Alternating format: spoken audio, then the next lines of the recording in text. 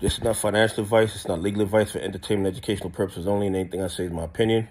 Please don't make any financial decision based on anything I say in these videos.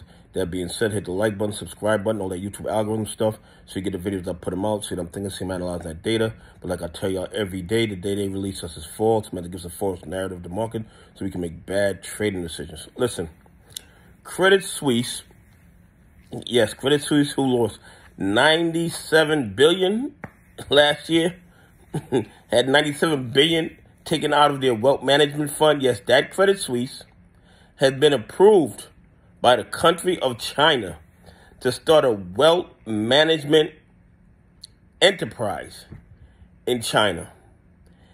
And I really hope Credit Suisse has been paying attention to what happened to bad actors in China. I hope Credit Suisse knows that the shenanigans, the games that they like to play in the United States, the things that they can get away with in the United States, the way our regulatory agencies kind of close their eyes to the fraud and the malfeasance, I hope Credit Suisse is aware that China does not play the same games that the United States of America plays. They had banned Citadel for five years for algorithm, algorithmic trading, and Citadel does that in the United States every day with no problem. So, what the United States will allow you to do because you have politicians in your pocket, you will not be allowed to do in China. So, I guess Credit Suisse is going to up their game.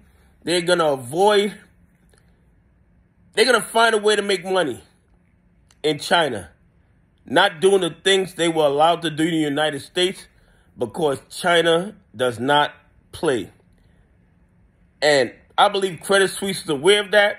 So they are probably going to change their game plan when they start doing business in China. Anyway, please leave some comments and tell me what you think. Do you think the same shenanigans that Credit Suisse plays in the United States, do you think they're going to play that in China when China will shut them down? anyway, have a great day. God bless, and I appreciate y'all on this journey with me.